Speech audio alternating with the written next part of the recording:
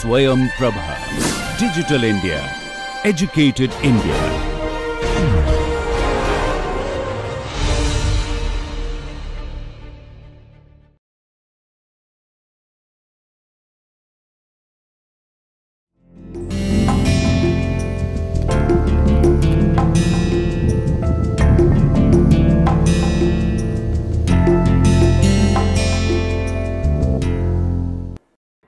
नमस्कार अ, आधुनिक भारतीय राजनीतिक चिंतकों की अध्ययन और चर्चा के श्रृंखला में अभी तक हम बहुत सारे राजनीतिक चिंतकों के बारे में बातचीत कर चुके हैं। आज मैं आपसे एक ऐसे राजनीतिक व्यक्तित्व और राजनीतिक चिंतक की बात करूँगा, जिन्होंने औपनिवेशिक काल में भी महत्वपूर्ण भूमिका निभाई और जब भारत का संविधान निर्मित हो रहा था और उसके बाद की राजनीति में भी उनकी एक अमिट छाप रही।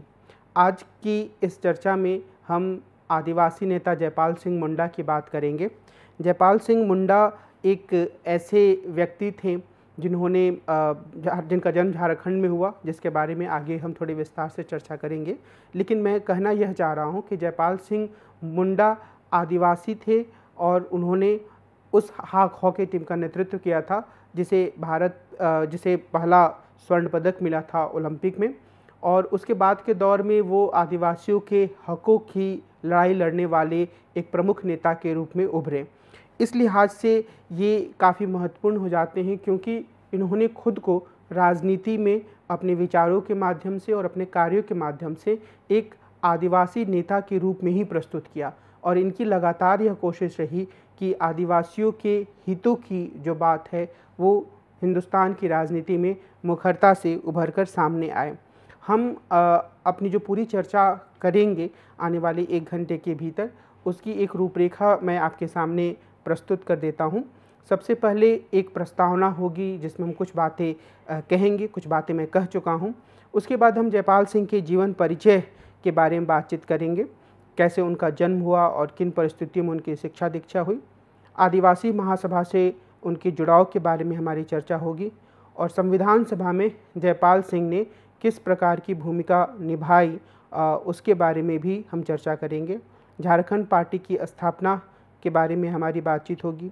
फिर गांधीवादी दर्शन और जयपाल सिंह के बीच में किस तरह का संबंध था, जयपाल सिंह ने कैसे उसकी आलोचना प्रस्तुत की, हम उसके बारे में बातचीत करेंगे। और कांग्रेस से उनके पेचीदा या जटिल संबंधों की भी हम चर्चा करेंगे। फिर हम यह देखेंगे कि कैसे राष्ट्रवादी रूपरेखा के भीतर जयपाल सिंह मुंडा ने आदिवासी अस्मिता के प्रश्न को सामने रखा। उनके जीवन में मुस्लिम लीग से उनका जो संबंध था, वो भी रहा, जो कुछ विवादास्पद पहलू माना जाता है। लेकिन यहाँ भी कैसे वो आदिवासियों के हितों को सबसे महत्वपूर्ण मानते हैं, यह बात उभर कर सामने आएगी। हम इसकी चर्चा करेंगे। आदिवासी अस्मिता और मज़बूत भारत का जो उनका एक लक्ष्य था, उसके बारे में हमारी चर्चा होगी। और अलग अलग धर्म और आदिवासियों की पहचान के बीच का जो एक प्रश्न उभर कर सामने आता है, हम उस पर बातचीत करेंगे। और ख़ास तौर पे जो आदिवासियों को सोशल सिक्योरिटी और वन अधिकार दिलाने पर ज़ोर दिया जयपाल सिंह मुंडा ने, उस पर भी हमारी चर्चा होगी।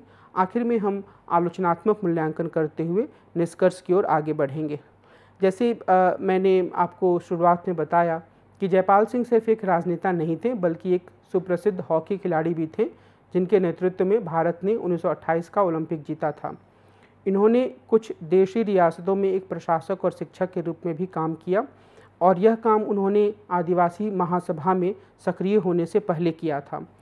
इसलिए ये एक ऐसे व्यक्तित्व के रूप में सामने आते हैं जो आदिवासी अस्मिता पर ज़ोर देने के साथ ही साथ आधुनिक शिक्षा और विकास के अन्य आयामों के महत्व को समझते थे।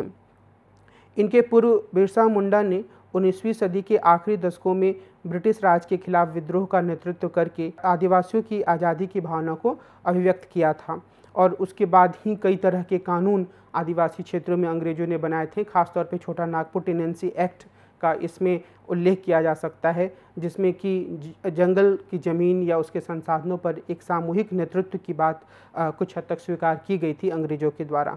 बिरसा मुंडा से पहले भी सैकड़ों आदिवासी विद्रोहों ने अंग्रेज़ों द्वारा प्राकृतिक वन संसाधनों पर कब्जा जमाने का डटकर विरोध किया था और यह माना जाता है कि इस तरह के विरोध जो हैं वो अठारहवीं सदी से ही आरंभ हो चुके थे और 19वीं सदी में 19वीं सदी के पहले भाग में ऐसे कई विद्रोह हुए।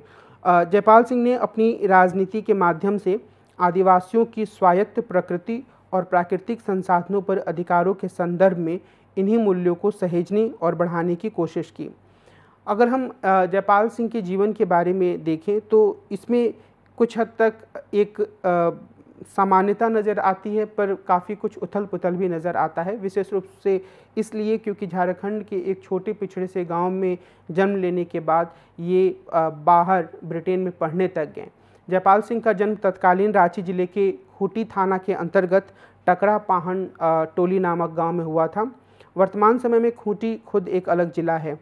इनकी वास्तविक जन्म तिथि ज्ञात नहीं है, किंतु बाद में 3 जनवरी 1903 को इनका जन्मदिन मान लिया गया। इनके पिता अमरू पाहन आदिवासी पुरोहित थे और कई बार ये अपने नाम के साथ मुंडा भी लगाते थे। हालाँकि जयपाल का आरंभिक नाम प्रमोद पाहन था, लेकिन बाद में यह बदलकर जयपाल सिंह कर दिया गया। जयपाल सिंह की पाँच बहनें और इनके अलावा दो भाई थे। इनकी आरंभिक शिक्षा टकरा के प्राथमिक स्कूल में हुई। 1910 में जयपाल के पिता ने इनका दाखिला रांची के संत पॉल स्कूल में करवा दिया। 1910 से 1919 तक इन्होंने इस स्कूल में शिक्षा प्राप्त की। संत पॉल स्कूल में जयपाल सिंह की पहचान एक मेहनती और होनहार छात्र की थी और इस स्कूल के प्रिंसिपल फादर कैनन कॉसग्रेव उन्हें काफ़ी पसंद करते थे। 1919 में स्कूल के प्रिंसिपल के पद से अवकाश लेकर वापस अपने देश इंग्लैंड जाने लगे जब कासग्रव तो उन्होंने जयपाल सिंह को भी अपने साथ ले जाने का फैसला किया। उन्होंने जयपाल सिंह को ईसाई धर्म में दीक्षित किया क्योंकि कैनन उन्हें पादरी बनाना चाहते थे, इसलिए 1920 में उन्हें इस संदर्भ में प्रशिक्षण हासिल करने के लिए ऑगस्टीन कॉलेज, कैंटबरी भेजा। हालाँकि खुद जयपाल की रुचि इस काम में नहीं थी, और तो दो वर्ष बाद उन्हें ऑक्सफोर्ड के सेंट जॉन कॉलेज में दाखिला दिलाया गया, और उन्हें यहाँ 40 पाउंड का स्कॉलरशिप भी मिला, और उन्होंने यहीं से बीए की डिग्री हासिल की। तो एक तरीके से एक छोटे गाँव से उठकर जब वो स्कूल में गए तो अपने मेहनती और समर्पित विद्यार्थी की छवि के कारण स्कूल के प्रिंसिपल की नज़रों में आए और स्कूल के प्रिंसिपल ने यह फैसला किया कि वह उन्हें अपने साथ लेकर लंदन जाएँगे और और उन्होंने उनको, यानी कि जयपाल सिंह को ईसाई धर्म में दीक्षित भी किया। एक लिहाज से यह पूरी तरीके से एक मासूम गतिविधि नहीं मानी जा सकती है। हालाँकि कासग्रो ने जयपाल जी के माता पिता को ज़रूर विश्वास में लिया था। लेकिन उनका लक्ष्य यह भी था कि एक पादरी के रूप में जयपाल सिंह को वो विकसित करें, जो कि बाद में वापस आकर झारखंड या बिहार दक्षिणी बिहार के इलाके में आदिवासियों के बीच में काम करें और ईसाई मूल्यों का प्रचार प्रसार करें। जयपाल सिंह की खेलकूद में काफ़ी रुचि थी और उन्होंने हॉकी में महारत हासिल कर ली थी। हॉकी खिलाड़ी के रूप में वे न सिर्फ़ भारतीय टीम में चुने गए, बल्कि 1928 के एम्स्टर्डम ओलंपिक में उन्होंने भारतीय टीम की कप्तानी भी की। और यह अपने आप में बहुत ही गौरव की बात है सभी भारतीयों के लिए कि जयपाल सिंह ने न सिर्फ़ वहाँ की हॉकी में पहली बार भागीदारी कर रही थी भारत की टीम, जयपाल सिंह उसका नेतृत्व कर रहे थे और उस टीम ने स्वर्ण पदक भी जीता। ओलंपिक में हॉकी को 1908 में शामिल किया गया था और भारतीय टीम ने सबसे पहले 1928 के ओलंपिक खेलों में ही भागीदारी की थी। इस ओलंपिक में भारतीय हॉकी टीम ने स्वर्ण पदक जीता था। हालाँकि फाइनल मैच में जयपाल सिंह नहीं खेल पाए थे। इसके बाद 1928 के अंत में उन्हें रॉयल डच शेल ग्रुप नामक एक विदेश व्यापारी कंपनी के मर्केंटाइल असिस्टेंट के पद पर नियुक्त किया गया, जो काफ़ी प्रतिष्ठा का पद था। 1934 से 1937 तक इन्होंने पश्चिमी अफ्रीकी देश गोल्ड कोस्ट वर्तमान घाना के अचिमोटा कॉलेज में वाणिज्य शिक्षक के पद पर कार्य किया। जयपाल सिंह की ये दोनों ही नियुक्तियाँ अपने आप में एक उपलब्धि थीं, क्योंकि उनके पहले रॉयल डच शेल ग्रुप ने इतने बड़े पद पर किसी भारतीय को नियुक्त नहीं किया था। 18 वर्षों तक विदेश में रहने के बाद जयपाल सिंह भारत आए और उन्होंने रायपुर, जो वर्तमान छत्तीसगढ़ की राजधानी है वहाँ के राजकुमार कॉलेज में वरिष्ठ सहायक अध्यापक के पद पर काम किया। इसके कुछ समय बाद वे बीकानेर रियासत में राजस्व आयुक्त तथा कार्यवाहक कोलोनाइजेशन मिनिस्टर के पद पर नियुक्त हुए। यह भी याद रखने की ज़रूरत है या इस, ये जानकारी आप लोगों को होनी चाहिए कि जयपाल सिंह ने दो बार विवाह किया था। पहली शादी कांग्रेस के प्रथम अधिवेशन के अध्यक्ष उमेश चंद्र बनर्जी की नतनी तारा मजुमदार के साथ 1931 में दार्जिलिंग में हुई थी। पहली पत्नी से जयपाल सिंह को तीन संतानें हुईं, लेकिन कई मसलों पर अनबन होने के कारण दोनों के बीच तलाक हो गया। जयपाल सिंह ने उन्नीस में दूसरी शादी जहाँ आरा से की, जहाँ आरा से भी जयपाल सिंह की को तीन संतानें हुई। जहाँ आरा जो एक राजनीतिक रूप से सक्रिय महिला के रूप में भी सामने आती हैं 1960 के दशक में उन्हें इंदिरा गांधी के सरकार में उप मंत्री बनाया जाता है। और बाद के दौर में जब झारखंड राज्य बना, उस समय तक जहाँ आरा इस दुनिया में थी, और कुछ समय के लिए चर्चा चली कि वाजपेयी सरकार में कि जहाँ आरा को ही झारखंड का पहला मुख्यमंत्री बनाया जा सकता है। हालाँकि यह बात बहुत आगे नहीं बढ़ पाई।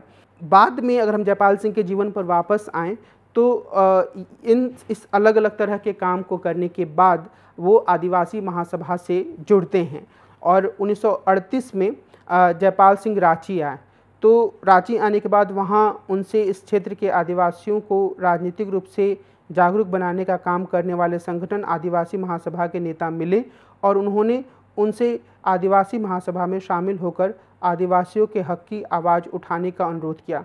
आदिवासी महासभा एक पुरानी संस्था थी, उसका उतना ज़्यादा प्रभाव नहीं था, लेकिन वो लगातार ये मुद्दे उठाते रहती थी कि कैसे वन के संसाधनों पर आदिवासियों का हक होना चाहिए। और आमतौर पर यह भी माना जाता था कि आदिवासी महासभा जो है, वो एक अलग सुर में बात करती है, जिस भाषा में और जिस तरह के आवाज़ के साथ कांग्रेस अपनी बातों को रख रही थी, चाहे वो आदिवासियों के हक की बात हो या राष्ट्रीय आंदोलन की बात हो, आदिवासी महासभा उससे अलग आवाज़ में अपनी बातों को रख रही थी, क्योंकि उसका सबसे ज़्यादा ज़ोर आदिवासियों के हक पर था। वो आदिवासियों के लिए एक अलग प्रांत की मांग को आगे बढ़ाने की कोशिश कर रहे थे। फिर जयपाल सिंह मुंडा की, के पास आदिवासी महासभा के नेता इसलिए भी गए थे क्योंकि जयपाल सिंह उस समय तक काफ़ी प्रसिद्ध हो चुके थे। वो एक पुराने हॉकी खिलाड़ी थे, उन्होंने विदेश में शिक्षा ग्रहण की थी और वो इस स्थिति में थे कि वो अब उनकी बातों को, आदिवासियों के मुद्दों को अंग्रेज़ों तक बेहतर तरीके से पहुँचा पाएँ। इसके साथ ही साथ उनकी स्थिति यह भी थी कि जब वो अपनी बातों को रखते तो भारतीय राष्ट्रीय कांग्रेस और कई अन्य नेता भी उनकी बातों को ज़्यादा गंभीरता से लेते इन्हीं सब स्थितियों में वे उन्नीस सौ उनतालीस में आदिवासी महासभा में शामिल हुए और उन्होंने आदिवासी सकम साप्ताहिक पत्र का प्रकाशन भी आरंभ किया। यहाँ इस बात का भी उल्लेख करना ज़रूरी है आ, कि शुरुआत में उन्होंने कांग्रेस के नेताओं से भी बातचीत की थी और डॉक्टर राजेंद्र प्रसाद विशेष रूप से चाहते थे कि जयपाल सिंह मुंडा कांग्रेस में सम्मिलित हो जाएँ। लेकिन आ, कई कारणों से जिसमें कि कुछ कारण यह माना जाता है कि अंग्रेज़ अधिकारियों ने, गवर्नर तक के पद पर आसीन लोगों ने उनसे कांग्रेस से अलग राजनीति करने को कहा। और दूसरा यह भी माना जाता है कि जयपाल सिंह यह समझ पाएँ कि वो ज़्यादा बेहतर तरीके से आदिवासियों के हितों के मुद्दों को उठा सकते हैं, यदि वो कांग्रेस से बाहर रहकर एक अलग संगठन में काम करते हैं। और कांग्रेस और या विशेष रूप से बिहार कांग्रेस के नेताओं और उनके बीच में खींचतान भी हुई, जिसकी बारे में हम आगे चर्चा करेंगे, जब हम कांग्रेस के साथ जयपाल सिंह के पेचीदा संबंधों पर बातचीत करेंगे। लेकिन यहाँ अगर हम बीच की कहानी को जो छोड़कर हम आगे गए थे, उससे फिर से वापस आएँ तो कुछ हद तक उथल पुथल रहा 1940 के दशक में पाकिस्तान की मांग उभर कर सामने आई और जो कांग्रेस और आदिवासी महासभा के बीच में एक तरह की खींचतान हमेशा चलती रही झारखंड क्षेत्र में प्रभाव बढ़ाने के मुद्दे को लेकर। उसके बारे में हम आगे चर्चा करेंगे। आ, और मुस्लिम लीग से जो आदिवासी महासभा की निकटता हुई उसके बारे में भी हम आगे चर्चा करेंगे। लेकिन आ, जो एक महत्वपूर्ण पड़ाव जयपाल सिंह के जीवन में आया वो यह था कि वो भारत की संविधान सभा के सदस्य के रूप में चुने गए। जयपाल सिंह 1946 में संविधान सभा के लिए चुन लिए गए थे। उन्होंने भारतीय संविधान सभा के सदस्य के रूप में बहुत ही महत्वपूर्ण भूमिका निभाई और वहाँ आदिवासियों की आवाज़ को मुखर रूप से अभिव्यक्त किया। संविधान सभा में अपनी वक्तृता न सिर्फ़ अन्य से उन्होंने न सिर्फ़ अन्य लोगों का ध्यान अपनी ओर खींचा, बल्कि आदिवासियों के मुद्दों को भी मुखरता से सामने रखा। उन्होंने तथाकथित मुख्य धारा के राष्ट्रीय आंदोलन की आदिवासियों की समझ को प्रश्नांकित किया, जिसमें यह माना जाता था कि आदिवासी पिछड़े हैं और उन्हें मुख्य धारा में लेकर आना है। उन्होंने संविधान सभा में यह कहा कि आदिवासियों को अमूमन जंगली कहा जाता है, लेकिन उन्हें, यानी कि जयपाल सिंह को, जंगली होने पर फ़क्र है। 19 दिसंबर 1946 को संविधान सभा में अपने संबोधन में उन्होंने कहा कि मैं उन लाखों नादान और अनजान लोगों की ओर से बोलने के लिए खड़ा हुआ हूँ, जो आज़ादी की लड़ाई लड़ने वाले योद्धा हैं। भले ही दुनिया उनकी कद्र नहीं करे लेकिन वे भारत के मूल निवासी हैं। इन्हें पिछड़े कबीले, आदिम कबीले, जयराम पेशा कबीले आदि न जाने कितने नामों से पुकारा जाता है। सर, मुझे इस बात का फ़क्र है कि मैं जंगली हूँ। हम लोग जो जंगलों में रहते हैं, इस बात को बखूबी समझते हैं कि संविधान के लक्ष्य और उद्देश्य संबंधी प्रस्ताव का क्या अर्थ है। मैं तीन करोड़ से अधिक आदिवासियों की ओर से इस प्रस्ताव का समर्थन करता हूँ। प्रसिद्ध इतिहासकार रामचंद्र गुहा ने यह रेखांकित किया है कि संविधान में आदिवासियों, यानी कि अनुसूचित जनजातियों को दलितों, यानी कि अनुसूचित जातियों की तरह आरक्षण का अधिकार दिलाने में जयपाल सिंह ने अत्यंत महत्वपूर्ण भूमिका निभाई। संविधान सभा में अगस्त उन्नीस सौ सैंतालीस में अल्पसंख्यक अधिकारों से संबंधित पहली रपट को सार्वजनिक कर दिया गया था। इसमें सिर्फ़ अस्पृश्यों या अछूतों के लिए आरक्षण का प्रावधान किया गया था। जयपाल सिंह ने संविधान सभा में इस बात पर गहरा दुख जताया, अफसोस जताया कि सबसे ज़्यादा ज़रूरतमंद समूह आदिवासी को तस्वीर से पूरी तरह से बाहर रखा गया है। संविधान सभा ने प्रसिद्ध समाज सुधारक ए वी ठक्कर के नेतृत्व में जनजातीय अधिकारों के लिए एक उप समिति का गठन किया था। इस उप समिति की रपट इसके सदस्य के रूप में जयपाल सिंह के शब्दों ने संविधान सभा को आदिवासियों की स्थिति के बारे में ज़्यादा संवेदनशील बनाया। इसने विधायिका और सरकारी नौकरियों में अनुसूचित जनजातियों के लिए सीटों को आरक्षित करने का प्रावधान करवाने में महत्वपूर्ण भूमिका निभाई। जयपाल सिंह संविधान सभा में लगातार आदिवासियों को हितों को ही मुख, के हितों को ही मुखरता से रखते रहें और इसके बाद उन्होंने उन आदिवासी भाषाओं का संरक्षण करने और उनका संवर्धन करने पर बल दिया जिनके पास अपनी लिपि नहीं थी। उन्होंने मुंडारी जैसी आदिवासी भाषाओं के संरक्षण पर भी ज़ोर दिया। जयपाल सिंह ने राजनीतिक संरक्षण पर बहस के समय इस बात पर बल दिया कि आदिवासियों की ज़मीनों की रक्षा के लिए बने मौजूदा कानूनों को कायम रखा जाए और तथा ज़रूरत पड़ने पर इन कानूनों को ज़्यादा मज़बूत बनाया जाए। और यह जो चाहे भाषा का सवाल हो, चाहे आदिवासी संस्कृति का सवाल हो, चाहे आदिवासियों के हकों की बात हो अगर किसी एक व्यक्ति ने सबसे मुखरता से उस बात को रखा तो वो जयपाल सिंह थे। हालाँकि संविधान सभा में आ, उनकी जो पूरी भूमिका थी उसमें कुछ हद तक सीमाएँ भी सामने आती हैं विशेष रूप से और वो डॉक्टर अंबेडकर और जयपाल सिंह दोनों की सीमाएँ मानी जा सकती हैं कि उन आ, दोनों लोगों ने साझा रूप से आदिवासियों और दलितों के हितों को आगे बढ़ाने के लिए काम नहीं किया कहीं ऐसा उदाहरण नहीं मिलता है जहाँ पर संविधान सभा में दोनों सदस्य जो एक, जो कि दलित समुदाय के हकों के लिए संघर्ष कर रहे थे और दूसरे, जो कि आदिवासियों के हकों के लिए संघर्ष कर रहे थे, वो दोनों एक साथ आकर विभिन्न मुद्दों पर काम कर रहे हैं, ऐसा नहीं दिखता है। लेकिन इसके बावजूद उन्होंने, यानी कि जयपाल सिंह ने विधायिका में आदिवासियों के लिए सीटों को आरक्षित करने का समर्थन किया और यह कहा कि देसी रियासतों में भी आदिवासियों का उचित प्रतिनिधित्व होना चाहिए। उन्होंने आरक्षण का विरोध करने वाले वालों को अलोकतांत्रिक करार दिया और यह कहा कि उनके जंगल के जीवन से आने को बाध्य, यानी कि वो जंगल के जीवन से बाहर आएँ, इसके लिए ज़रूरी है कि उन लोगों को आरक्षण प्रदान किया जाए। और अगर उन्हें आरक्षण नहीं दिया जाता है, उन्हें विशेष सुविधाएँ नहीं दी जाती हैं तो वो उन्हीं स्थितियों में रहने के लिए मजबूर होंगे, जिन स्थितियों में वो कई सदियों से रहते आए हैं। और यह एक बहुत ही महत्वपूर्ण विचार था, क्योंकि यह दिखाता है कि जयपाल सिंह यह नहीं मानते थे कि आदिवासी जिस अवस्था में, जिस स्थिति में, जिस जीवन शैली के साथ कई पीढ़ियों से, कई सदियों से जंगलों पर रहते आए हैं, वही उनका आदर्श रूप है। वो यह मानते हैं कि उन्हें भी जो मुख्य धारा का आधुनिक समाज है तथा कथित मुख्य धारा हम कह सकते हैं, या जो आधुनिकीकरण से जुड़ी हुई जो चीज़ें हैं, उन्हें भी उसकी ओर आगे बढ़ना चाहिए। हालाँकि वो यह भी मानते हैं कि आगे बढ़ने की यह प्रक्रिया सोच, समझ और विवेक पर आधारित होनी चाहिए, न कि एक अंध अनुकरण होना चाहिए।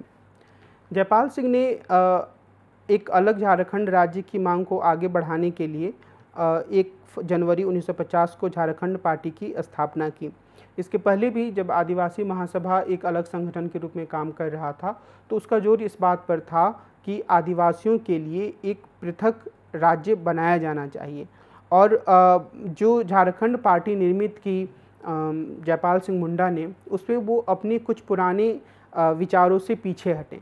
मिसाल के तौर पर वो इस बात पर ज़ोर देते थे आदिवासी महासभा के अध्यक्ष के रूप में कि जो झारखंड वो प्रस्तावित करना चाहते हैं, या जो आदिवासी इलाका है दक्षिणी बिहार का, वहाँ पर शोषण करने वाले जो प्रमुख लोग हैं, वो दिकू लोग हैं। दिकू यानी कि बिहारी लोग, गैर आदिवासी बाहरी लोग। और वो बार बार इस चीज़ पर ज़ोर देते थे कि इन लोगों को झारखंड के क्षेत्र से बाहर किया जाना चाहिए। लेकिन जब वो झारखंड पार्टी की स्थापना करते हैं, एक जनवरी 1950 को तो वो झारखंड क्षेत्र में रहने वाले सभी गैर आदिवासियों को भी इस दल से जुड़ने के लिए आमंत्रित करते हैं। और जब ये चुनाव लड़ते हैं तो उनके दल को अच्छी खासी सफलता भी मिलती है इस विशेष क्षेत्र में। यहाँ इस बात का भी मैं उल्लेख करना चाहूँगा कि जब पहला आम चुनाव हो रहा था तो जयपाल सिंह से जो गैर कांग्रेसी दल थे, खासतौर पे जो सोशलिस्ट पार्टी के नेता थे, जयप्रकाश नारायण, उन्होंने यह आग्रह किया कि वो लोग गठबंधन बनाकर चुनाव लड़ते हैं, लेकिन जयपाल सिंह ने इससे इनकार कर दिया। शायद वो अपने दल की ताकत को दिखाना चाहते थे और ख़ुद भी इस बात का अंदाज़ा लगाना चाहते थे कि वो अकेले दम पर कितनी सीटें जीत सकते हैं। पहली बार जब बिहार विधानसभा का चुनाव हुआ तो उन्हें तेती, उनके दल को तैंतीस सीटों पर जीत मिली और वो बिहार का प्रमुख विपक्षी दल बन गया। यहाँ यह भी उल्लेखनीय है कि जो झारखंड राज्य की संकल्पना जयपाल सिंह प्रस्तुत कर रहे थे और जिसके बारे में आदिवासी महासभा से जुड़ने के समय से वो बात कर रहे थे और उनके पहले भी आदिवासी महासभा में इस मुद्दे पर काम हो रहा था। तो जयपाल सिंह ने जिस झारखंड राज्य की मांग की, वह झारखंड राज्य मौजूदा समय में जो झारखंड राज्य है, उससे कहीं ज़्यादा व्यापक था। वो ये चाहते थे कि जो झारखंड का इलाका है, यानी कि जो दक्षिणी बिहार का इलाका है, उसके आसपास के जो दूसरे कई ज़िले हैं, जो अन्य राज्यों में हैं, मिसाल के तौर पर उड़ीसा में या दूसरे राज्य में, मध्य प्रदेश में जो भी छत्तीसगढ़ का इलाका बन चुका है, उन सभी के जो क्षेत्र हैं, आदिवासी क्षेत्र, उनको मिलाकर एक वृहत्तर आदिवासी राज्य बनाया जाए। और इस लिहाज से उनकी मांग काफ़ी महत्वपूर्ण थी और वो ये चाहते थे कि इस तरीके का राज्य बने, जहाँ पर आदिवासी राजनीति भी फले फूले और आदिवासियों का वास्तविक रूप में विकास हो। क्योंकि अगर आदिवासी अलग अलग राज्यों में छोटे छोटे अल्पसंख्यक समूह बनकर रहेंगे तो उनका बहुत बेहतर तरीके से विकास नहीं हो सकता है और वो गैर आदिवासी समूहों की राजनीतिक तिकड़मबाजी और आर्थिक दोहन का लगातार शिकार होते रहेंगे। इस लिहाज से जो राज्य पुनर्गठन आयोग गठित किया गया था उसके सामने भी झारखंड को अलग राज्य बनाने की मांग रखी गई लेकिन आ, कई कारणों से इस मांग को स्वीकार नहीं किया गया। जो सबसे बड़ा कारण था वह यह था कि जो झारखंड के इलाके की बात कही मांग की जा रही थी वहाँ कोई एक भाषा की समस्या नहीं थी। और जो फजल अली आयोग था उसमें मुख्य रूप से जो राज्य पुनर्गठन आयोग था, मुख्य रूप से उसमें ज़ोर इसी बात पर था कि हम अलग अलग राज्यों का भाषाई आधार पर पुनर्गठन करें। तो इस लिहाज से इस, यह मांग स्वीकार नहीं की गई। बहरहाल, राजनीति जैसे जैसे आगे बढ़ी वैसे वैसे यह अंदाज़ा होता गया जयपाल सिंह को कि वो, उनकी जो पार्टी है, वो बहुत मज़बूत प्रदर्शन नहीं कर पा रही है दक्षिण बिहार के इलाकों में। एक तरीके का ठहराव उनकी राजनीति में दिखा और इसके कारण से तीसरे लोकसभा चुनाव के बाद जयपाल सिंह ने अपनी पार्टी का कांग्रेस में विलय कर लिया, क्योंकि उन्हें यह लगा कि वे कांग्रेस में शामिल होकर आदिवासियों के लिए एक अलग राज्य हासिल कर सकते हैं। लेकिन उन्हें इसमें कामयाबी नहीं मिली। इससे दुखी होकर मार्च 1970 में उन्होंने कांग्रेस से अलग होकर फिर से झारखंड पार्टी को सुगठित करने और झारखंड राज्य के लिए आंदोलन करने का फैसला किया। लेकिन जयपाल सिंह झारखंड आंदोलन को आगे बढ़ाने के अपने उद्देश्य को पूरा नहीं कर पाए और 20 मार्च 1970 को दिल्ली स्थित निवास स्थान में उनका देहांत हो गया। उनकी मृत्यु का कारण सेरेब्रल हेमरेज यानी मस्तिष्क का में अत्यधिक रक्त स्त्राव को माना गया। तो इस लिहाज से आगे बढ़ने से पहले ये जो पूरे भाग था, उसमें मैंने जयपाल सिंह के जीवन के कुछ महत्वपूर्ण बिंदुओं को स्पर्श करने की कोशिश की और यहाँ पर उनका वैचारिक आयाम भी सामने आता है। खासतौर पे जब हमने संविधान सभा में उनकी भूमिका को देखा और संविधान सभा से अलग जब वो झारखंड पार्टी बनाकर अलग झारखंड राज्य की मांग करते हैं तो वहाँ पर एक वैचारिक आयाम भी सामने आता है और वह वैचारिक आयाम बिल्कुल साफ़ है और वह यह है कि वो ये चाहते हैं कि जो भारतीय राष्ट्र राज्य बन रहा है उसमें आदिवासियों के हितों को पूरी तरीके से सुरक्षित रखा जाए। और वो हित सिर्फ़ राजनीतिक हित नहीं थे बल्कि उसके साथ साथ सांस्कृतिक पहचान के हित थे भाषाई स्वायत्तता के हित थे और जो वनों के संसाधन थे उन पर सुरक्षा आ, सुरक्षित अधिकार देने से संबंधित हित थे। और बाद में हम यह देखेंगे कि जयपाल सिंह इन्हीं मुद्दों को लेकर आगे बढ़ते रहें। और इन मुद्दों के केंद्र में उनका जो एक मुख्य विचार था वह यह था कि आदिवासियों के लिए एक पृथक राज्य होना चाहिए। एक ऐसा राज्य जिसके माध्यम से आदिवासी अपने मामलों का सही तरीके से प्रबंधन कर पाएँ, अपने संसाधनों का उपयोग उन्हें कैसे करना है, इसके बारे में फैसला कर पाएँ और उनके लिए भविष्य का रास्ता क्या होगा, उनके राज्य के स्तर पर विकास का कैसा मॉडल होगा, इसका फैसला कर पाएँ और इसके साथ ही साथ राष्ट्रीय स्तर पर जो राजनीति चल रही है, उसमें वो मजबूती से दखल दे पाएँ। तो इन्हीं आधारों पर वो अपनी राजनीति करते रहें। उनकी राजनीति के जो, का जो एक महत्वपूर्ण तत्व था, वह यह भी था कि उन्होंने गांधीवादी दर्शन की आलोचना की। और हम ये देखेंगे कि कांग्रेस के भीतर भी और कांग्रेस से बाहर भी ऐसे तमाम नेता थे जिन्होंने गांधीवादी दर्शन को पूरी तरीके से स्वीकार नहीं किया बल्कि उसकी अलग अलग तरीके से मज़बूत आलोचना प्रस्तुत की। जयपाल सिंह भी उनमें से एक थे। आ, हमने देखा है कि डॉक्टर अंबेडकर और कई अन्य नेता भी उसी श्रेणी में आते हैं।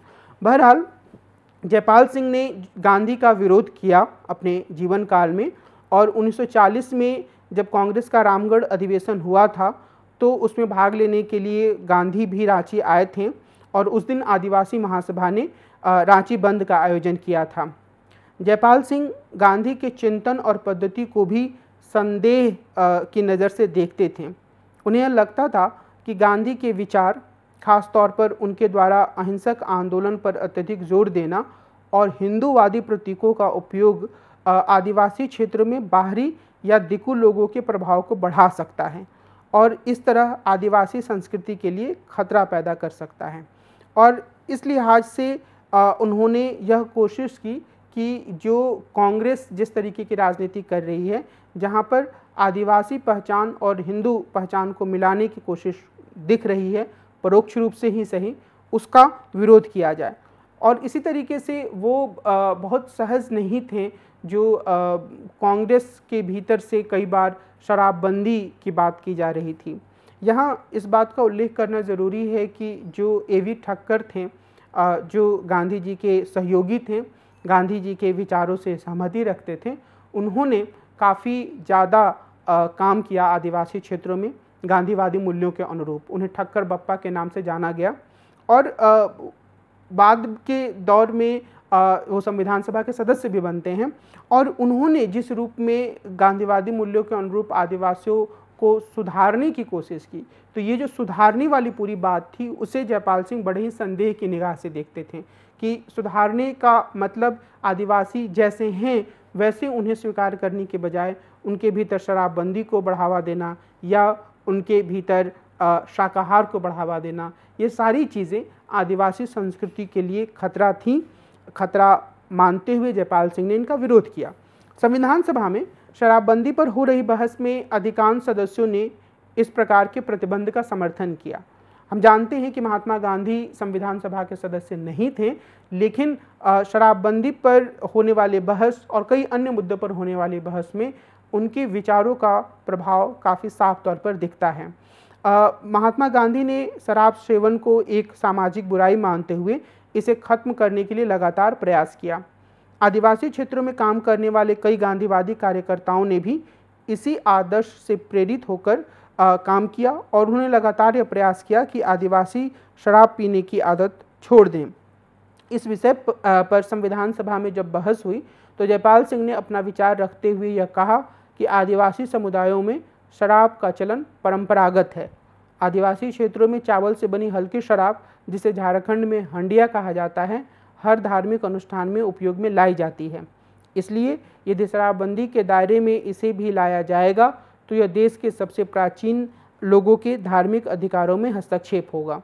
हालाँकि यह भी सच है कि संविधान सभा में ही बहुत से सदस्यों ने और कुछ आदिवासी सदस्यों ने भी उनकी बात का विरोध किया, और आदिवासी सदस्यों ने यह कहा कि यह कहना सही नहीं है कि सभी आदिवासी शराब पीते हैं।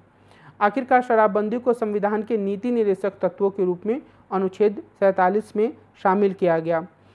इसका अर्थ यह है कि संविधान सभा ने शराब पीने को गैर कानूनी कार्य के रूप में स्वीकार नहीं किया, बल्कि इसे एक ऐसे आदर्श के रूप में देखा जिसे हासिल करने का प्रयास किया जाना चाहिए। और एक तरीके से यह भी कहा जा सकता है कि यह जयपाल सिंह और उनके जैसे अन्य सदस्यों की सफलता थी जिन्होंने यह माना कि एकदम से शराबबंदी पूरे देश में लागू कर देना सही नहीं है। अन्य लोगों ने व्यवहारिक कारणों से इस तरीके का तर्क दिया और जयपाल सिंह ने यह तर्क आदिवासियों की संस्कृति, उनकी परंपरा, उनकी जीवन शैली को ध्यान में रखते हुए दिया। तो ये एक तरीके से जयपाल सिंह की कामयाबी मानी जा सकती है। कांग्रेस से जयपाल सिंह का हमेशा जटिल संबंध रहा। कुछ पहलुओं का मैंने पीछे उल्लेख किया है कि कैसे वो अपने दल का कांग्रेस में विलय करते हैं। लेकिन इसके बावजूद उस, उन, उस जटिल संबंध को समझने की ज़रूरत है। आज़ादी के आंदोलन के दौरान जयपाल सिंह का कांग्रेस नेताओं, विशेषकर बिहार कांग्रेस के नेताओं के साथ 36 का आंकड़ा रहा, क्योंकि जहाँ जयपाल सिंह अलग झारखंड राज्य के लिए प्रतिबद्ध थे, वहीं बिहार कांग्रेस के नेता बिहार के विभाजन के सख्त खिलाफ थे। तो ये एक तरीके से विज़न का अंतर था, एक तरीके से हितों का टकराव था, क्योंकि बिहार के नेताओं को यह लगता था कि ज़्यादा बिहार का हित सुरक्षित रह पाएगा, बिहार के लोगों का हित सुरक्षित रह पाएगा।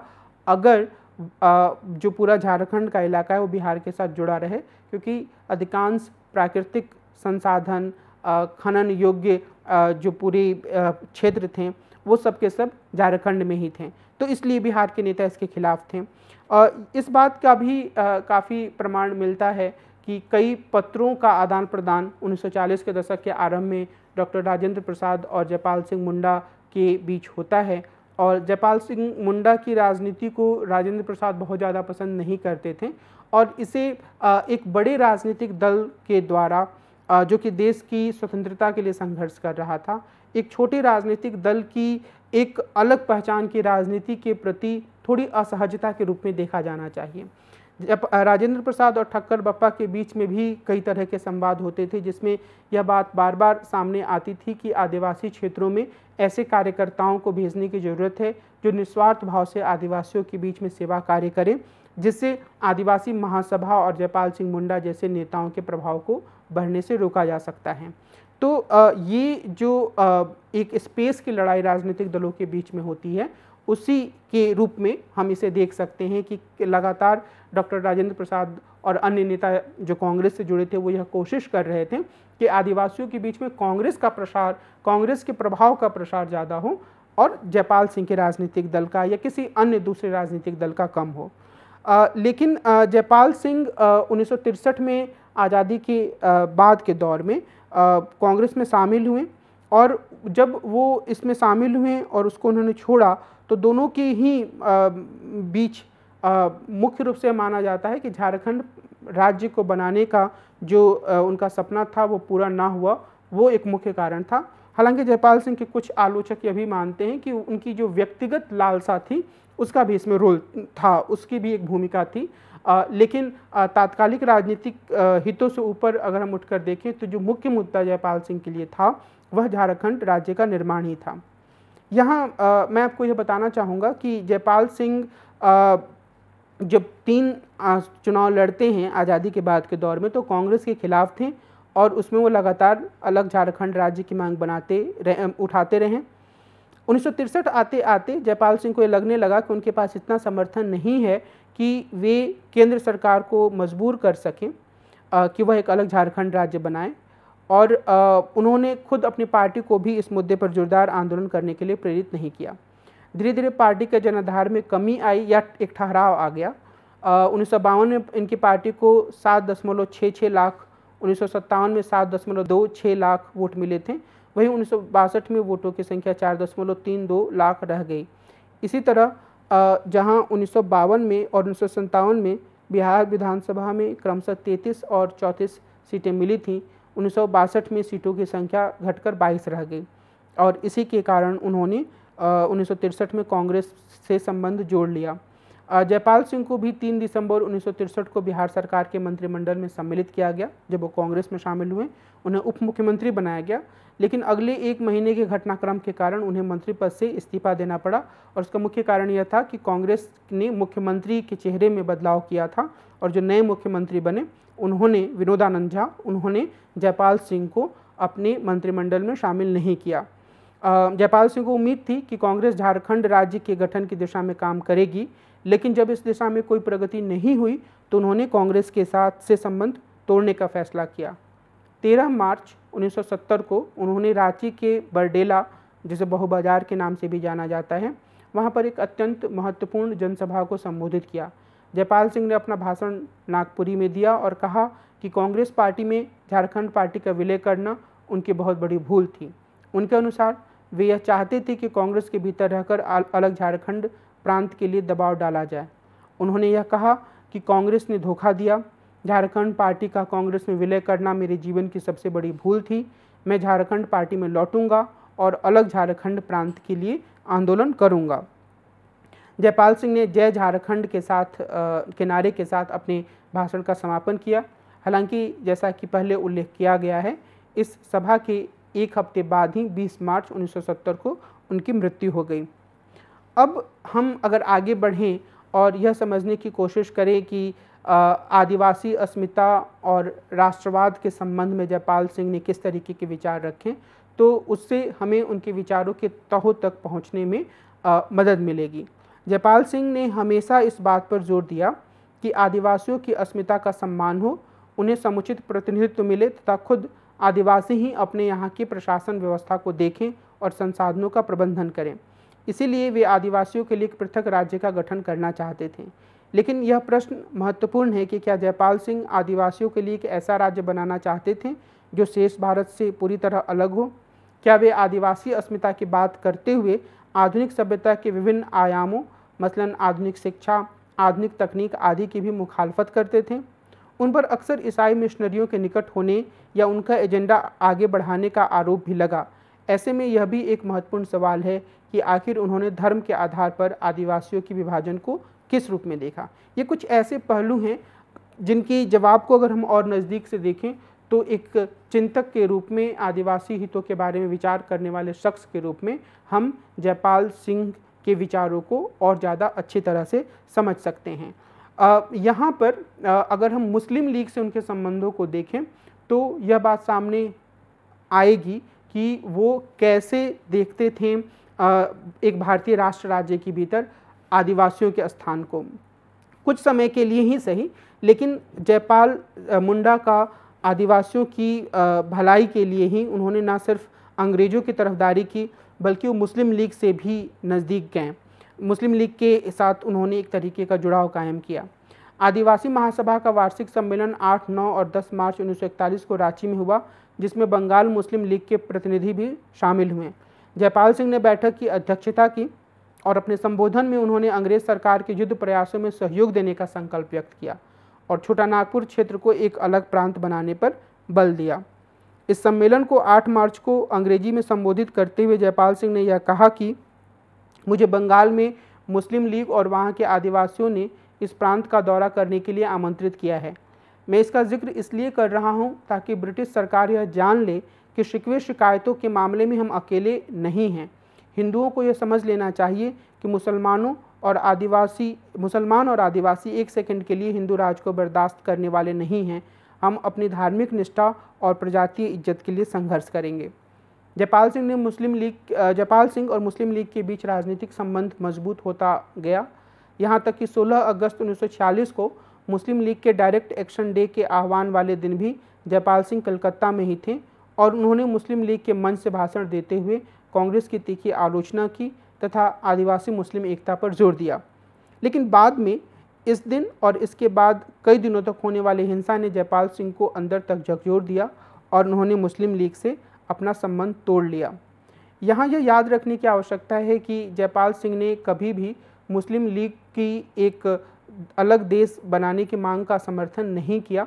उन्होंने कांग्रेस पर और अंग्रेज़ों पर दबाव डालने के लिए कुछ समय के लिए मुस्लिम लीग से निकटता रखी। जयपाल सिंह ने एक लेख भी लिखा जहाँ पर उन्होंने आदिवासी स्थान शब्द का इस्तेमाल किया। और इसमें भी वो असल में उनके लेखन में बार बार यह बात सामने आती है कि आदिवासी स्थान जो शब्द है, उसका मुख्य मतलब यही है कि कैसे जो पूरा हिंदुस्तान रहा है, वहाँ पर आदिवासियों की भी एक अलग पहचान रही है। तो वो उस रूप में एक अलग देश की तरफ़ बात नहीं करते हैं, लेकिन बार बार जो उनका इशारा है, वो इस बात की ओर आता है कि एक अलग समूह के रूप में आदिवासियों के हितों को कैसे सुरक्षित रखा जाए। मुस्लिम लीग से जो उनका जुड़ाव है, वह एक रणनीतिक जुड़ाव ज़्यादा लगता है, जहाँ पर अल्पसंख्यक समूहों से जुड़े हुआ मानने वाले दो समूह एक दूसरे के साथ मिलकर एक जो बड़ा समूह या बड़ा राजनीतिक दल है कांग्रेस के रूप में उस पर दबाव डाल रहे हैं या अंग्रेज़ों पर दबाव डाल रहे हैं। लेकिन जब इस पूरी मुस्लिम लीग की मांग और डायरेक्ट एक्शन डे इन सब चीज़ों का फलितार्थ सामने आया तो जयपाल सिंह ने अपने आप को आ, मुस्लिम लीग से या उसके साथ जो उनकी निकटता थी उससे काफ़ी दूर कर लिया और उन्होंने मुस्लिम लीग का विरोध करते हुए भी कुछ लेख लिखे हैं। बहरहाल मुस्लिम लीग से जो उनका संबंध था वो आ, एक तरीके से उनके राजनीतिक जीवन के एक ऐसे दौर को दिखाता है जहाँ पर वो कांग्रेस से इतनी दूर चले गए कि उन्हें मुस्लिम लीग से समझौता करना या उसके साथ जाना ज़्यादा सहज लगने लगा। हालाँकि वो कभी भी एक ऐसी स्थिति में नहीं आए जहाँ पर उन्होंने भारत के विभाजन का पूरी तरीके से खुलकर समर्थन किया हो। अगर हम आदिवासी, अस्मिता और मज़बूत भारत के बारे में उनके विचारों को देखें तो यह बात ज़्यादा साफ़ होती है कि असल में वो आदिवासियों का भविष्य एक सशक्त या मज़बूत भारत के भीतर ही देखते थे। जयपाल सिंह ने संविधान सभा की बैठकों में भी आदिवासियों की अस्मिता और हितों के साथ एक राष्ट्र के रूप में भारत को मज़बूत करने पर ज़ोर दिया। आदिवासियों की बुरी स्थिति का उल्लेख करने के साथ ही साथ उन्होंने संविधान सभा और प्रधानमंत्री जवाहरलाल नेहरू पर अपना भरोसा जताया। सभा के उद्देश्य प्रस्तावों के बारे में, अपने संबोधन में उन्होंने यह बात काफ़ी मुखर रूप से अभिव्यक्त भी की। इस इससे संबंधित बहस में एक जंगली, एक आदिवासी के रूप में अपने विचार रखते हुए जयपाल सिंह ने कहा, मेरे लोगों का संपूर्ण इतिहास गैर आदिवासी लोगों द्वारा शोषण और वंचना का इतिहास है। आदिवासी अपने बगावत और अव्यवस्था पैदा करके इसमें बाधा डालते आए हैं। इसके बावजूद, मैं पंडित जवाहरलाल नेहरू के शब्दों पर भरोसा करता हूँ। मैं आप सबके शब्दों पर विश्वास करता हूँ कि अब हम एक नए अध्याय की शुरुआत करने जा रहे हैं। यह स्वतंत्र भारत का एक नया अध्याय है, जहाँ अवसर की समानता है और जहाँ किसी की उपेक्षा नहीं की जाएगी। जयपाल सिंह अपने क्षेत्र छोटा नागपुर का जो इलाका था या जो दक्षिणी बिहार का इलाका था, उससे आगे बढ़ते हुए आदिवासी क्षेत्रों को एक की एक पहचान का निर्माण करना चाहते थे और उसे व्यापक भारतीय राष्ट्र की एक ऐसी इकाई बनाना चाहते थे, जो स्थानीय स्तर पर विकास करते हुए देश की मजबूती में योगदान दे। यहाँ ये जो संपूर्ण मसला है कि मज़बूत भारत का राज्य बने उसके और लोकतंत्र के जो मूल्य हों, उन सब बातों को अंगीकार करते हुए भी जयपाल सिंह कभी भी आदिवासी पहचान को तथा कथित मुख्य धारा के हिंदुस्तान में बिल्कुल मिला देने के समर्थक नहीं हैं और वो एक विशिष्टता आदिवासियों की कायम रखना चाहते हैं।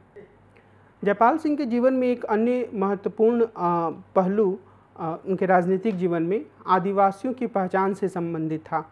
और हम यह जानते हैं कि वर्तमान समय में भी आदिवासियों की पहचान को लेकर कई तरीके के वाद विवाद चलते रहते हैं। ईसाई मिशनरियों की जो भूमिका आदिवासी क्षेत्रों में रही है, कई सारे विद्वान उसे सकारात्मक मानते हैं क्योंकि शिक्षा और स्वास्थ्य की सेवाओं को वहाँ तक पहुँचाने में इसने महत्वपूर्ण भूमिका निभाई है।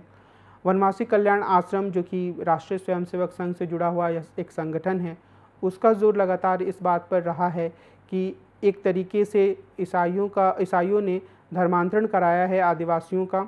उनकी संस्कृति के साथ खिलवाड़ किया है और ये बिल्कुल सही नहीं है। और वनवासी कल्याण आश्रम जैसे संगठन या खुद वनवासी कल्याण आश्रम की सिर्फ़ हम बात करें तो उसका यह मानना है कि जो आदिवासी हैं वो पिछड़े हुए हिंदू हैं और इस रूप में वो हिंदू मूल्यों का प्रसार करने की कोशिश वहाँ पर करता रहा है पिछले कई दशकों से। आ, कुछ ऐसे विद्वान हैं कुछ ऐसे संगठन हैं जो ये बोलते हैं कि आदिवासी ना तो ईसाई होना चाहते हैं, ना वो हिंदू होना चाहते हैं, वो सिर्फ़ आदिवासी के रूप में जो कि प्रकृति की पूजा करते हैं, अपनी पहचान को कायम रखना चाहते हैं। तो इस, ये जो विवादित पूरा मुद्दा है, उसमें जब जयपाल सिंह इस दुनिया में थे, जब वो राजनीति में सक्रिय थे तो वो खुद एक पार्टी बन गए। पार्टी वो इसलिए बने क्योंकि उन्होंने ईसाई धर्म को स्वीकार कर लिया था और अक्सर यह माना जाता था कि जब जयपाल सिंह अपनी बातों को रख रहे हैं तो वो आदिवासियों की बात कर रहे हैं, पर उनका जो मुख्य ज़ोर है, वह आदिवासियों से ज़्यादा ईसाई हो चुके आदिवासियों के हितों की सुरक्षा पर है। तो अपने राजनीतिक जीवन में जब उन्होंने प्रवेश किया तो उसके पहले वर्ष में ही उन्होंने राजेंद्र प्रसाद को लिखी एक चिट्ठी में स्पष्ट किया कि यदि कोई आदिवासी हिंदू धर्म, इस्लाम या किसी अन्य धर्म को अपना लेता है तो उसकी आदिवासी पहचान खत्म नहीं होती है।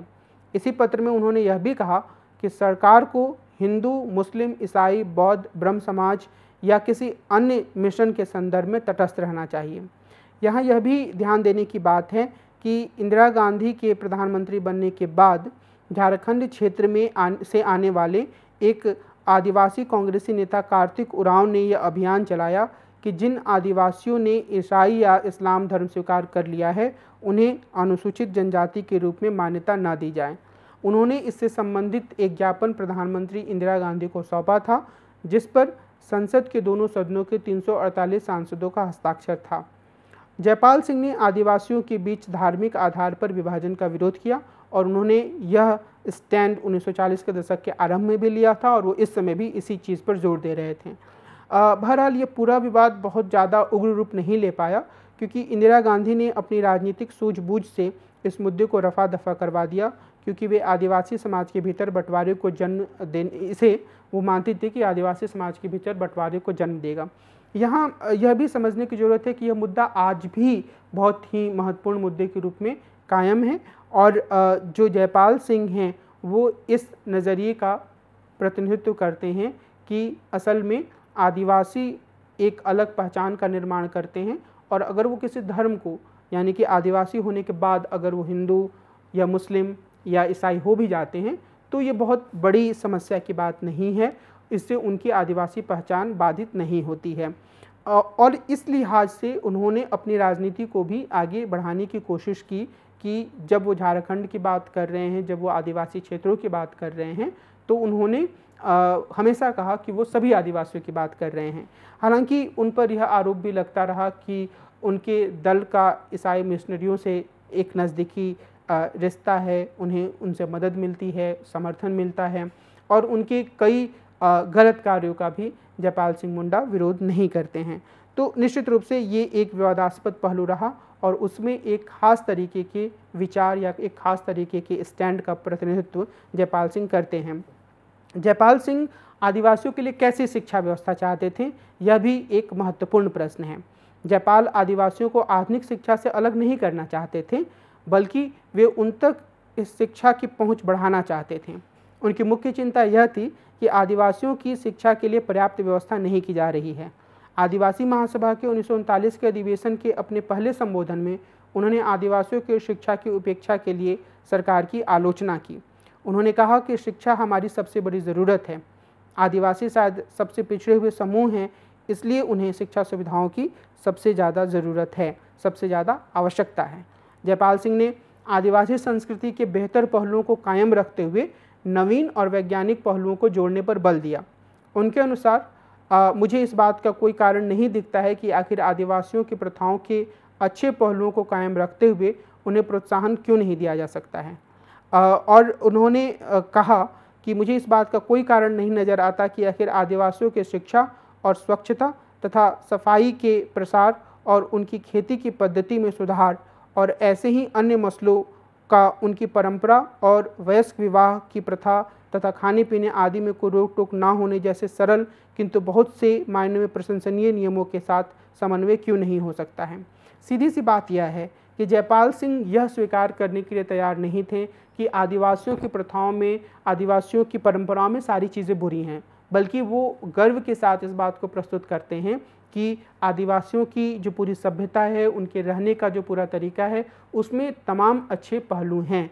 लेकिन वो यह कहते हैं कि इस बात में आ, किसी तरह का विवाद नहीं होना चाहिए कि हम इन चीज़ों को आधुनिक शिक्षा से भी जोड़ें। और अगर आधुनिक शिक्षा से हमारी भलाई के लिए कोई काम आ, कोई साधन मिलता है तो हम उसे अपनाएँ और उसके माध्यम से अपने रास्ते पर आगे बढ़ें। पहले हमने इस बात का बहुत संक्षेप में उल्लेख किया है और मैं इस पहलू पर अलग से ज़ोर देना चाहता हूँ कि जयपाल सिंह ने अपनी राजनीति में आदिवासियों को सामाजिक सुरक्षा देने और वन अधिकारों को सुनिश्चित करने पर ज़ोर दिया। उन्होंने आदिवासियों को सामाजिक सुरक्षा उपलब्ध कराने की वकालत की और यह कहा कि आदिवासी अभी इतने सरल हैं कि सामाजिक सुरक्षा के बगैर उन्हें अभी भी आसानी से धोखा दिया जा सकता है और वे आसानी से बाहर से आए साहूकारों के शिकार हो जाते हैं। ये साहूकार उनकी ज़मीन हड़प लेते हैं तथा धरती पुत्र आदिवासी मजदूर या पाड़ू किसान या झूम खेती करने वाले किसान बनकर रह जाते हैं। तो इस लिहाज से जो उनका एक मुख्य ज़ोर था वो यह था कि जो दिकू लोग हैं या जो बाहरी लोग हैं, वो सरल आदिवासियों का शोषण ना कर पाएँ, उसके लिए बहुत ही मज़बूत कानून बने। आदिवासी महासभा में अपने पहले संबोधन में उन्होंने खेती, लोक स्वास्थ्य में सुधार, ग्रामीण विकास को बढ़ोतरी, उद्योगों तथा प्रशासन को बेहतर बनाने के माध्यम से आदिवासियों की स्थिति को अच्छा बनाने पर ज़ोर दिया। उन्होंने आदिवासियों के जीवन में वन विभाग के बढ़ते नियंत्रण और हस्तक्षेप की आलोचना की। उन्होंने यह स्वीकार किया कि वनों में रहने वाले आदिवासी वन अधिकारियों के दमन, वन अपराधों के लिए सख्त जुर्माने के प्रावधान, चराई और ईंधन की लकड़ियों, घास और खाने योग्य फलों पर लगे अत्यधिक प्रतिबंध का सामना कर रहे हैं, जो उनके लिए अत्यधिक असंतोष का विषय है। यहाँ यह बताना अत्यंत महत्वपूर्ण है कि बाद के दौर में भी पचास, साठ, सत्तर के दशकों में और उसके बाद के दशक में भी यह मुद्दा हमेशा ही एक महत्वपूर्ण मुद्दा बना रहा कि जो वन हैं और उस पर जो आदिवासियों की निर्भरता है, उसके संदर्भ में राज्य की क्या नीति होनी चाहिए। और बाद के दौर में जब कि वाइल्ड लाइफ प्रोटेक्शन एक्ट और कई अन्य कानूनों के द्वारा आदिवासियों के अधिकारों को और ज़्यादा सीमित किया गया विशेष रूप से नेशनल पार्क और सेंचुरीज़ में तो ये मुद्दा लगातार उठता रहा। और आ, बाद के दौर में पेशा कानून बना जो पाँचवीं अनुसूची के क्षेत्रों के लिए है और वन अधिकार कानून 2006 बना जो कि पूरे देश के जंगलों के लिए हैं जिसमें यह सुनिश्चित करने का प्रयास किया गया कि जो वनोपज होते हैं जंगलों में या वनों के भीतर जो सामुदायिक अधिकार हो सकते हैं स्थानीय निवासियों को उनको सुनिश्चित किया जाए। तो ये एक ऐसी चिंता थी जिसके बारे में जयपाल सिंह जागरूक थे और उन्होंने लगातार यह कोशिश की कि आदिवासियों के भीतर इसके बारे में जागरूकता बढ़े और जो सरकार है, वह इस दिशा में सुनिश्चित कार्रवाई करे। हालाँकि उनके जीवन काल में यह इस दिशा में बहुत ज़्यादा काम नहीं हो पाया, बल्कि स्थिति यह भी रही कि राष्ट्रीय विकास के नाम पर शुरुआती दशकों में जंगलों का काफ़ी दोहन हुआ और यह प्रक्रिया आज भी जारी है।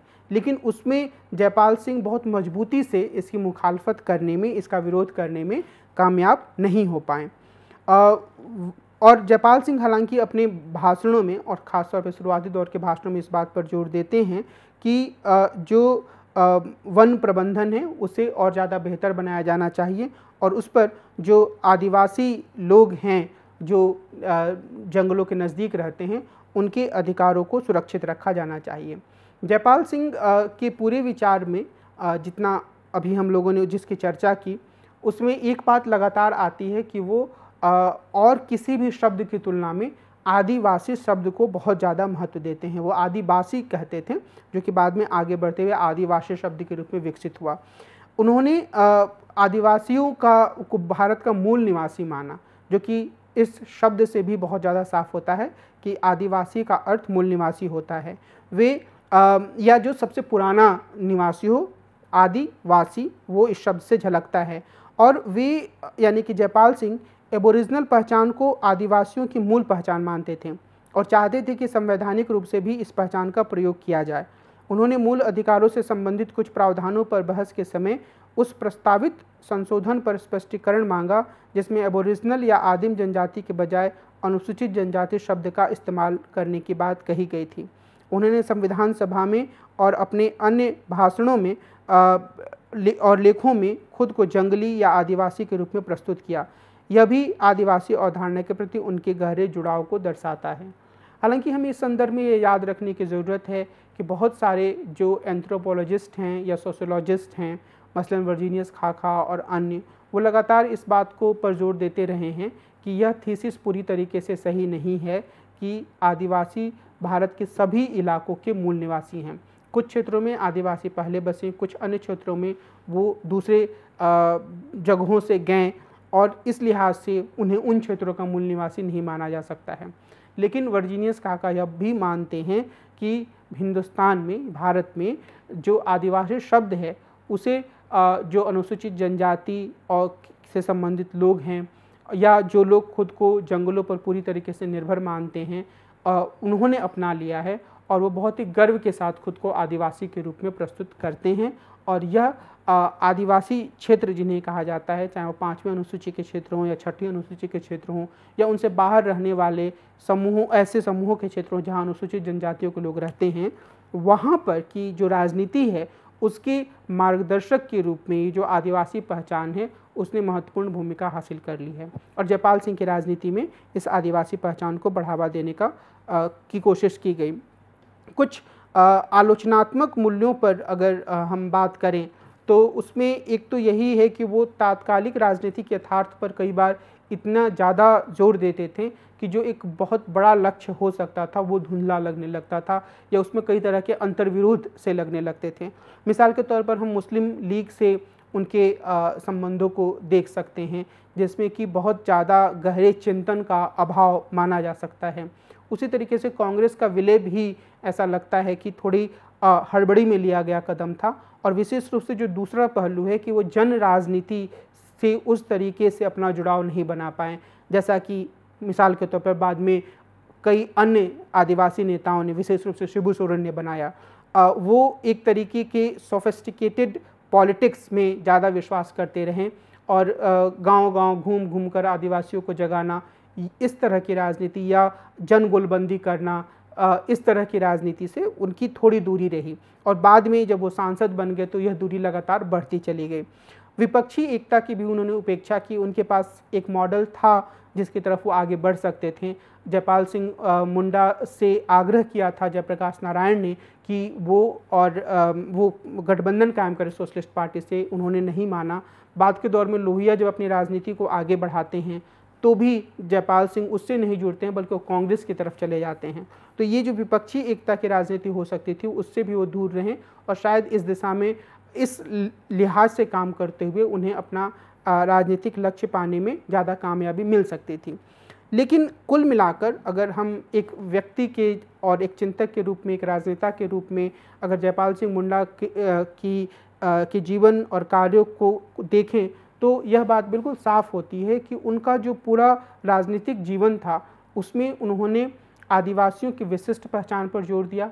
वो यह चाहते थे कि एक मज़बूत राष्ट्र राज्य के भीतर आदिवासियों के बुनियादी अधिकार नागरिकों के रूप में सुनिश्चित हों और समूह के रूप में जो उनका अपने संसाधनों पर, अपनी परंपराओं पर, अपनी प्रथाओं पर जो एक विशेष निर्भरता है, वो उसकी, उसको मान्यता दी जाए, उसका सम्मान किया जाए और आदिवासी यह फैसला करें ज़मीनी स्तर पर कि उनके जीवन की व्यवस्था क्या होनी चाहिए, ऊपर से किसी केंद्र सरकार के द्वारा ये चीज़ें ना थोपी जाएँ। इसलिए बार बार इस बात पर ज़ोर देते रहें कि आदिवासियों की अस्मिता सुरक्षित हो, उनके संसाधनों पर उनका हक सुनिश्चित हो और वो अपने जीवन को कैसे आगे बढ़ाना चाहते हैं, इसका फैसला लेने की पूरी की पूरी ज़िम्मेदारी उनके पास रहे, उनके हाथों में रहे। और बाद में हम देखते हैं कि झारखंड राज्य बनता है हालाँकि वो काफ़ी देर से बनता है और वो उस रूप में नहीं बनता है जिसकी कल्पना जयपाल सिंह ने की थी। फिर भी यह उनके विज़न और उनके संघर्षों की जीत के रूप में आ, माना जा सकता है। जयपाल सिंह मुंडा से जुड़ी इस पूरी चर्चा में मैं यह उम्मीद करता हूँ कि आ, उस की इसे सुनने के बाद आप जयपाल सिंह के बारे में कुछ बुनियादी बातों को समझ पाए होंगे उनके विचारों को समझ पाए होंगे और आपको जयपाल सिंह के बारे में आगे और ज़्यादा अध्ययन करने की प्रेरणा मिलेगी। आज की इस पूरी चर्चा को मैं यही विराम देता हूँ और आगे हम किसी अन्य चिंतक पर विस्तार से बातचीत करेंगे। नमस्कार।